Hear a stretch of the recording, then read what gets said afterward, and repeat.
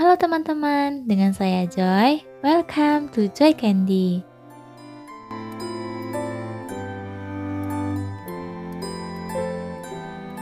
Resep kita kali ini adalah request dari Kak Ira. Terima kasih ya Kak karena sudah request resep kali ini. Yuk, sekarang kita buat sama-sama.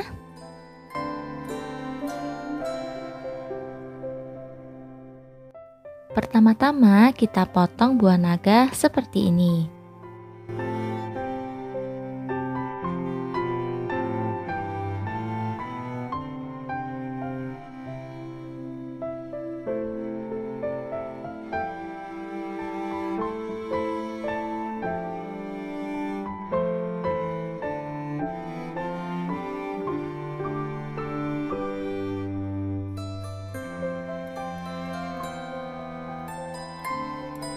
Kemudian akan kita cetak seperti ini. Untuk bentuk cetakannya bisa teman-teman sesuaikan dengan selera masing-masing ya.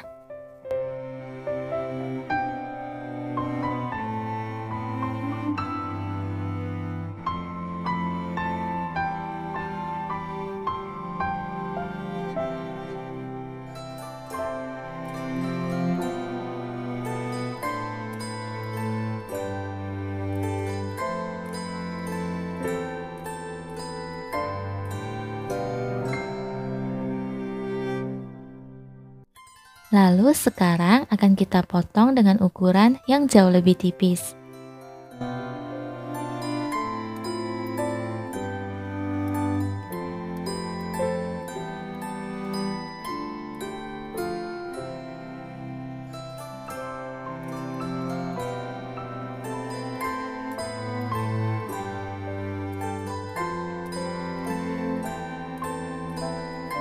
Setelah itu, baru kita susun setiap potongan ke dalam cetakan seperti ini.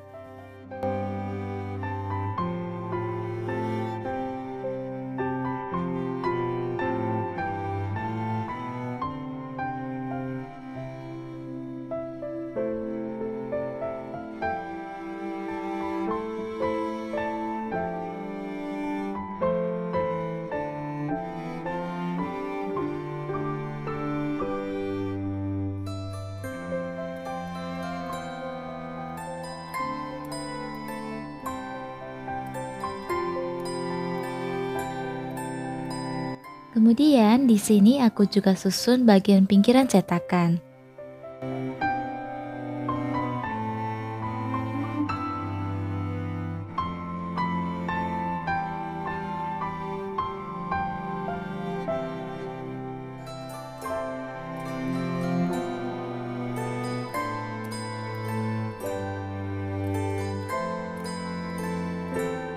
Setelah itu, kita masukkan ke dalam kulkas sambil kita siapkan bahan untuk membuat puding.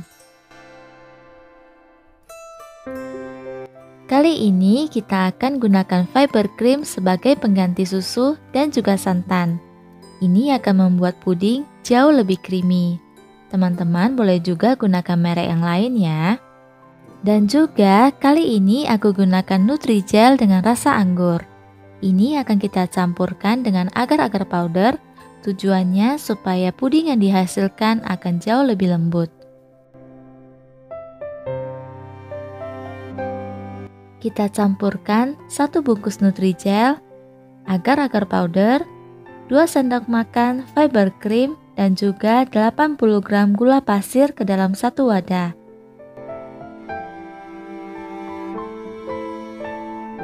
Lalu kita aduk hingga semuanya tercampur rata.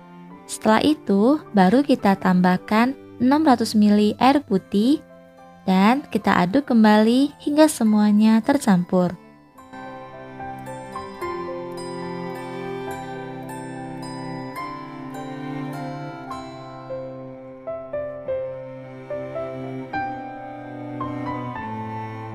Setelah semuanya tercampur rata, baru kita tambahkan kembali 600 ml air putih.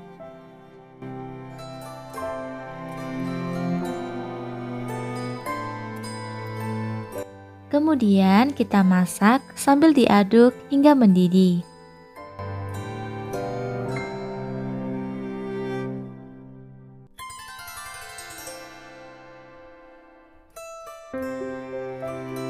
Setelah mendidih, matikan api kompor, lalu kita tuang ke dalam cetakan sedikit demi sedikit seperti ini. Di sini kita tidak langsung menuangkan semua puding ke dalam cetakan. Kita tuang sebagian, lalu sisanya kita sisihkan terlebih dahulu.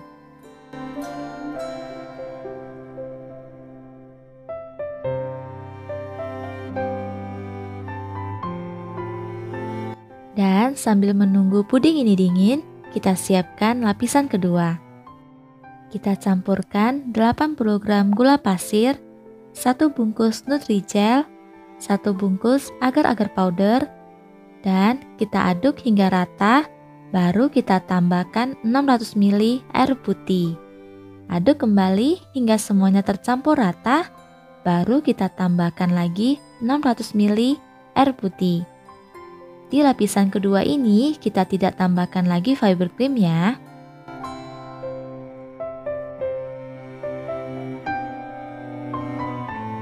Kemudian baru kita masak sambil diaduk hingga mendidih.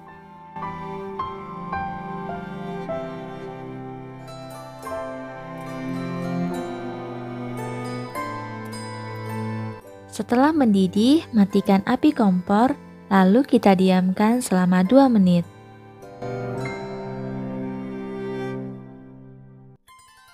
Sekarang setelah lapisan puding pertama dingin, baru kita tuang semua sisa puding pertama.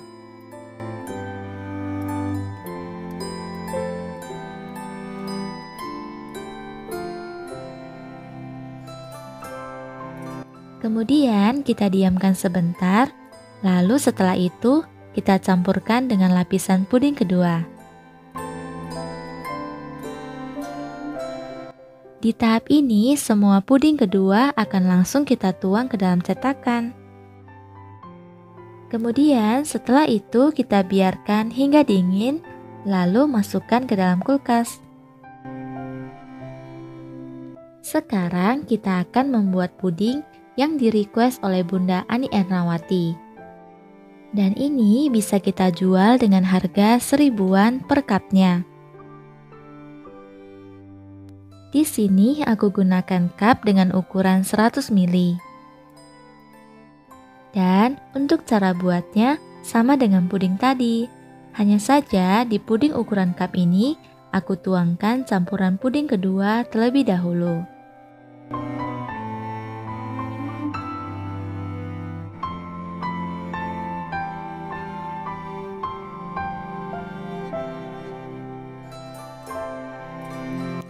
Lalu kita diamkan hingga dingin, baru setelah itu kita tuang campuran puding pertama.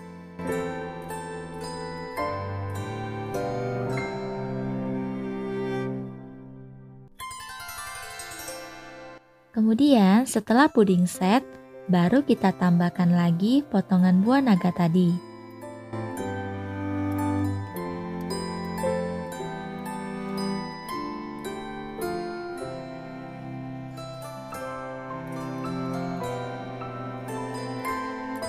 Setelah itu, sudah boleh kita masukkan ke dalam kulkas dan akan kita sajikan saat sudah dingin. Nah, sekarang sebagai tambahan, kita akan membuat biskuit yang nantinya akan kita sajikan bersama puding. Kita masukkan tepung terigu, lalu kita ayak gula halus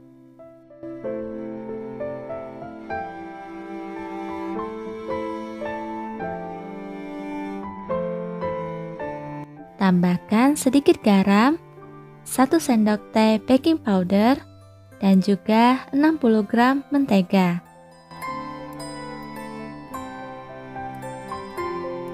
Kemudian dengan tangan yang bersih kita aduk semuanya hingga tercampur rata.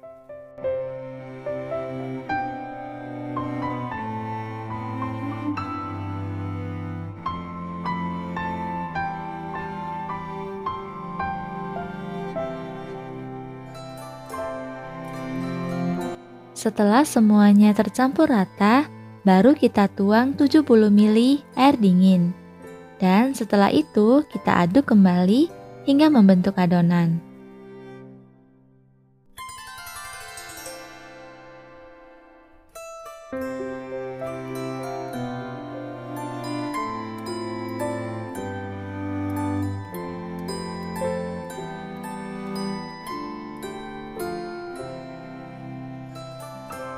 Setelah membentuk adonan seperti ini, lalu sekarang akan kita bungkus menggunakan plastik wrap.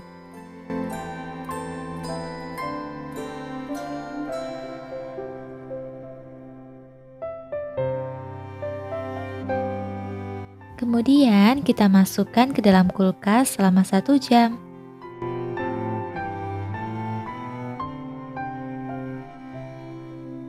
Setelah satu jam, kita keluarkan dari dalam kulkas, lalu kita pipihkan menggunakan rolling pin seperti ini.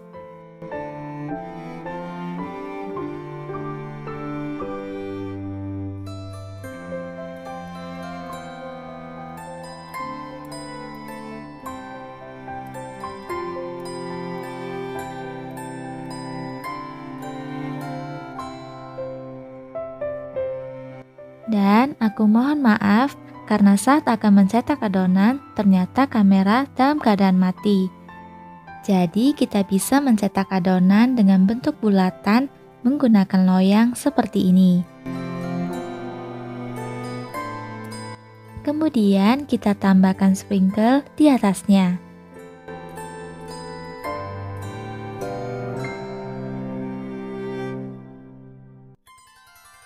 Lalu kita panggang dengan suhu 150 derajat Celcius selama 15 menit. Kemudian sekarang kita akan membuat buah naga. Kita campurkan 1 sendok makan tepung maizena, lalu 3 sendok makan fiber cream, dan 2 sendok makan gula pasir.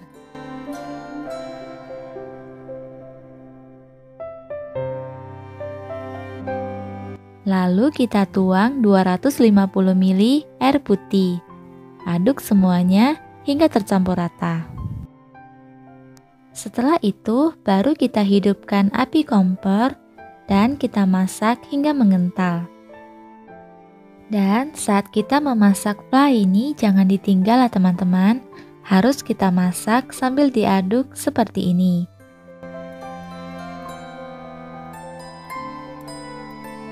Setelah mulai mengental, kita matikan api kompor, lalu kita diamkan selama 5 menit. Setelah itu, baru kita masukkan buah naga yang sudah kita blender terlebih dahulu. Lalu kita aduk hingga semuanya tercampur rata, kemudian sisihkan.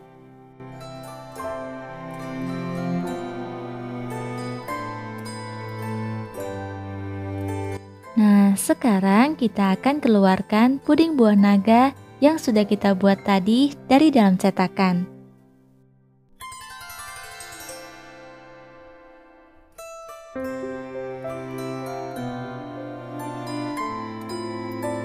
Tara, puding buah naga ala Joy Candy sudah jadi.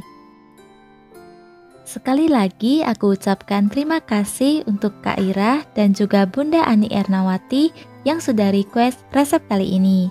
Dan semoga kalian suka ya.